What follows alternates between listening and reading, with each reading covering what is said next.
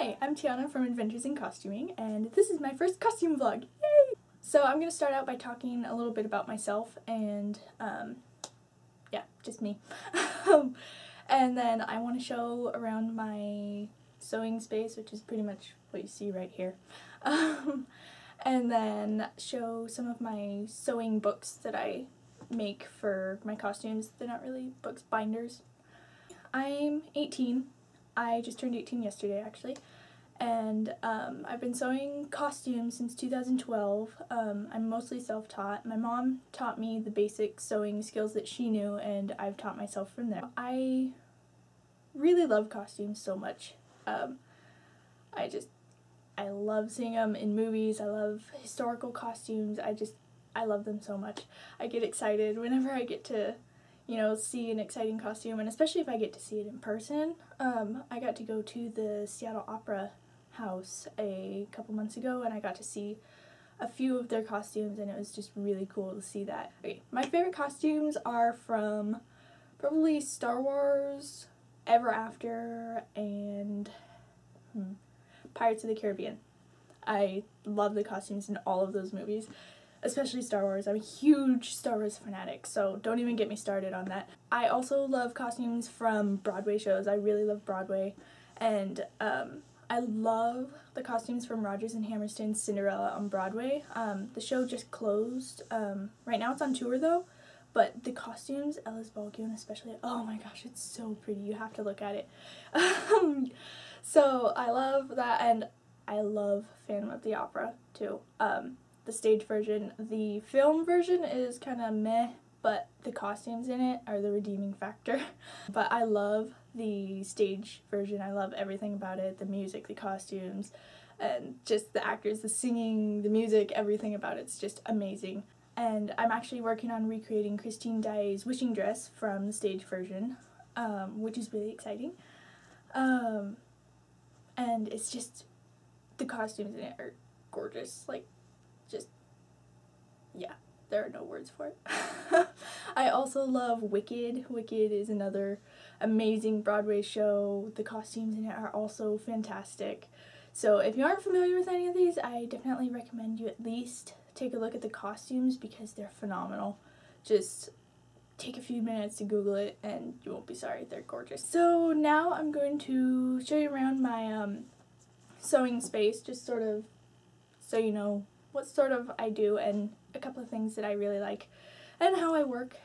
And I personally think I have a pretty neat sewing space considering it's so small, so I, I hope you like it. Okay, so this is my sewing table, which is just a plain desk. Um, it's really messy underneath. I'm currently working on getting some drawers and whatnot for it. Um, I have my sewing machine, which is my best friend. Um, I have this cutting mat, which I actually found at a garage sale, which was awesome, and it works really great. I just have, along the back wall, I have a jar with rulers and pens and pencils and pinking shears and whatnot, just whatever. Um, and then I have my elastic jar. I, I really like mason jars. They're they make organizing so much better. And then I have like five million pins in here, so of all sorts of sizes. Um, You can never have too many safety pins. And then I have buttons here, which I have a ton more buttons on my shelves. And then these are my sequins for my Rose Tyler dress, which I'm working on. Um, this is my pin cushion for the pins that I use on my wig. I like to keep them separate. Oh, and I keep a calculator over here because I really hate math. And I'm not that good at it, so I always like to have a calculator. Um, I have a couple of notebooks here, which I will show you guys more in a little bit. And my wig is just sort of here. Um, I have more pins, more jars with bobbins and sewing notions and whatnot, and just stuff over there. Um, and then next, I have on my walls, I have two different boards. I have one, which is just my inspiration board with just all sorts of things that I just really love. Everything from favorite movies to Broadway shows to pieces of lace I found, um, tassels that I used in costumes and inspirations, Star Wars pictures, Phantom of the Opera, Cinderella, my fabric swatch for my Christine Daae dress, um, vintage fashion photos, lace, all sorts of stuff. Just anything I find inspiring or just really love, it goes on this board. And then on this board, it's just a cork board. Um, I keep pictures for my latest costumes on here. And right now, I am working on my Christine Daae costume, and I'm also working on recreating a 1949 Pan Am stewardess uniform for the Historic Flight Foundation. So I have pictures up here, which are part of my research. And then back here, I have pictures from Padme's packing gown, which I've been working on for like two years now. but um, yeah, I just like to keep a couple of pictures up on my wall for reference, easy access, and that I can look at all the time that remind me, oh, I got to get back to this, you know, whenever I walk into my room. Um, I also keep my, this thing, whatever it's called, on here because it's just the best place I have for it. So this is probably one of the most important sewing tools I have, which is my dress form, which I made myself with the help of my mom and dad. Um, it's just a basic PVC stand, and I made it out of duct tape and covered it with a couple layers of batting, stuffing stuff, and put a corset on it because it wasn't my same same size as me after I added that, and then I put a t-shirt over top of that, and then I just keep all sorts of pins up here, and I call her Manny. She's my best friend next to my sewing machine. I wouldn't be able to do half the stuff I do without her. So um, it's a cheap way to get a sewing form, and it actually works really well. Okay, so I have a couple different books here. Um, starting off with this one, it's just a notebook I keep, and I keep all sorts of notes for when I'm working on mock-ups or the actual costumes. I have all sorts of notes. I draw patterns in here that I'm working on um, um, shopping lists for when I need to get my costume material and you know whatever stuff. Um, but I've got all sorts of notes in here for all sorts of things and patterns that I trace out from books. Um, I measure out in here, put the dimensions and whatnot. So that's what this is for, just for any random notes. And I highly recommend keeping something like this if you don't already because it will save your life. Especially if you're working on sewing patterns and um, like if you need to make an alteration to the pattern or something, write it down in there so that you don't forget when you make the real thing instead of on your mock-up, you know. Um, this is my costume sketchbook, which is fairly new. Um, so I just have a couple of sketches in here right now, but um, these are reference pictures for my wishing dress, which I'm working on. I just like to sketch everything out before I make it so I can see the seams and I always see more um, when I'm drawing it than when I'm just looking at it. So I have sketches of things, petticoats, um, patterns, and research. I've been getting into medieval clothing.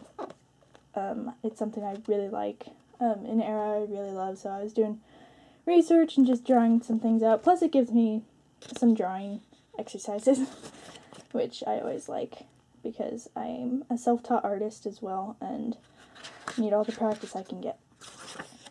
And this is for my graduation, which will be this June or July, I'm having a graduation party, which will be a Phantom of the Opera themed masquerade, which I'm so excited about. And I'm designing my own dress, and this is the design I ended up with. So I'm really excited about that, and I'm going to learn a lot of new techniques on this dress, which will be exciting. a little nerve wracking just because there are things I've never done before, couture sewing, and so yeah, I'm a little nervous about that, but I'm sure it'll all end up good in the end. Okay, next I have my sewing binders, which are just regular three ring binders with, well, everything in them. I keep all sorts of things in here. I have it's not this one's not very organized because it's my main one. I have like seven or eight different costume binders, but um, yeah, this one is just for whatever costumes. I have one for my Christine Daae dress. Um, I have one for Disney costumes, one for Broadway costumes, and just I put them in different categories. I've also been making these costume sheets, which um, I made in a Google Doc and print them out. And basically, it's just um, information, um, so I don't forget, um, like what the costume is, who the original designer was, um, a brief costume analysis, washing instructions, um, all the pieces, so I don't have to try and figure that out the day I'm trying to wear it, you know, for Halloween or whatever. Like, oh, do I have everything? I can just look here and make sure I have everything. And then also what materials I used, how much I used, and the patterns, and any other materials and that sort of stuff. Which I, I found really helpful. It's still under construction.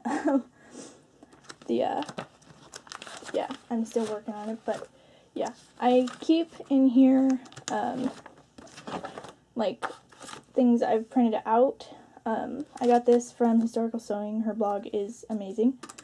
Um, just this is one of her free printables. Um, I also have other free printables I've got with um, tutorials for drafting drawers, which is this is the one I got from the Sewing Academy, which I used for my drawers. And the chemise, which I also used for my chemise. Uh, it also has, they have some other tutorials and stuff too, which I printed out. Um, and then I have over here my costume reference pictures, which I sort out with just yellow sticky notes and I write the name of the costume or the person or whatever. And these are reference pictures from when I made Marion Ravenwood's um, Cairo, sorry, Cairo outfit from Indiana Jones Raiders of the Lost Ark. And then my Danielle de Barbarac pictures, and I have Pan Am reference pictures, um, Rose Tyler, Oops, got some loose ones in there.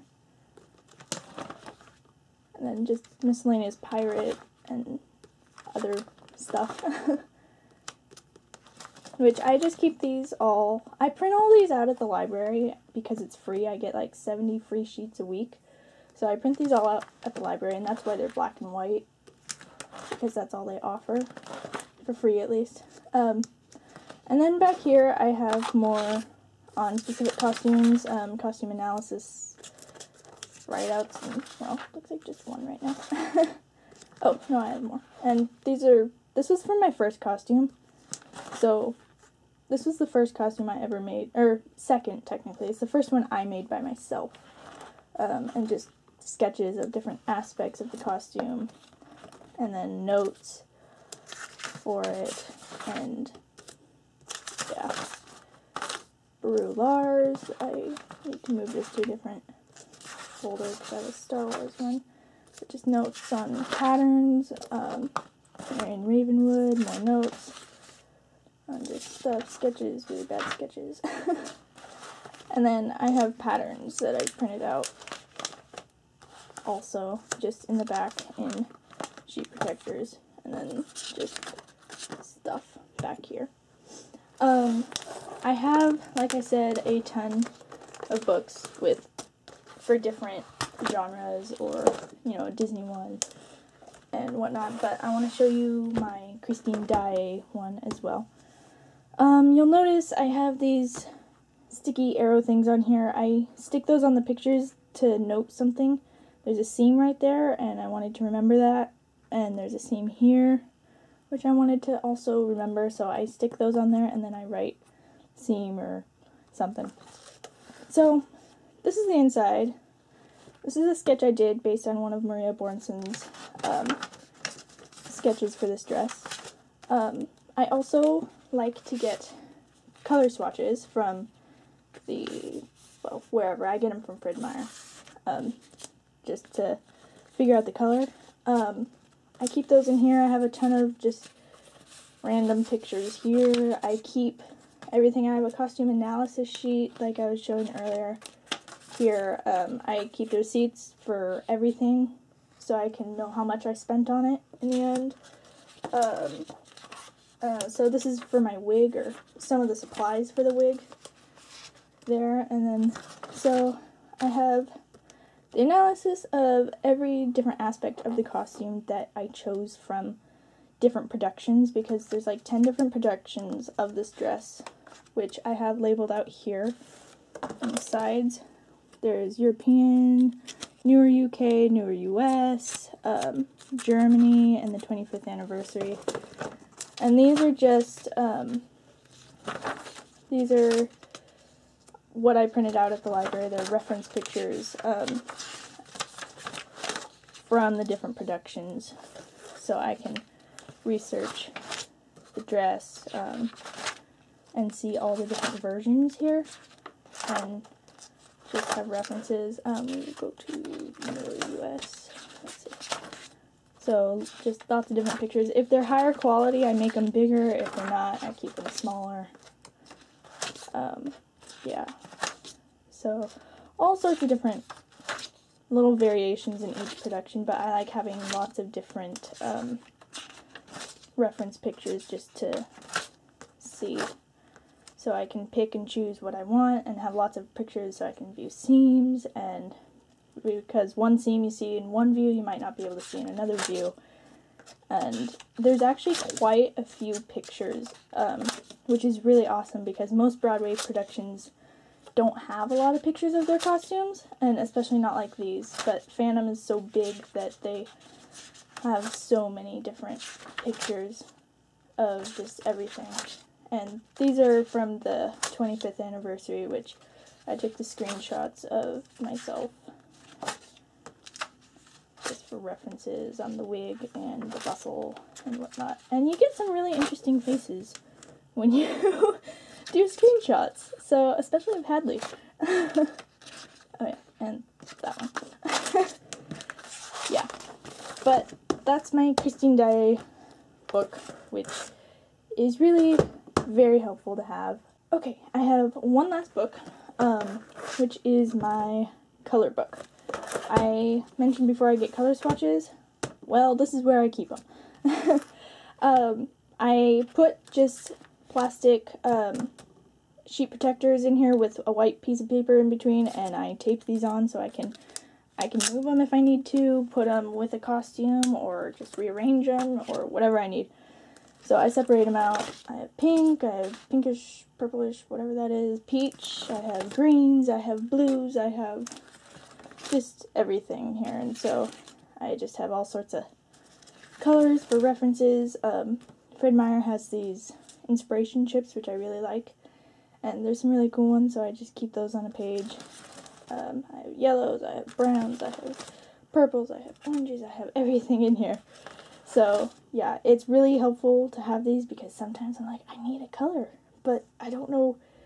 I, I need something to reference for me with when I go fabric shopping, but I don't have anything. So, this is a great way to do that. Figure out your color and then take it with you to the fabric store and find the closest thing to it. It works really well. So I guess that's it. Um, please let me know if you like this video um, and if you have any critiques for anything. I'm always open to suggestions. Um, and if you have any ideas for future topics, please let me know because I have a couple of ideas, but I'm sure that I will be looking for ideas soon. So yeah, thank you so much for watching. Bye.